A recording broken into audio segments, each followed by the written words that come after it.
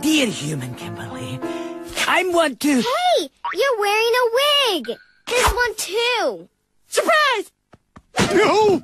That means the three of you, you're, you're boys. Ew!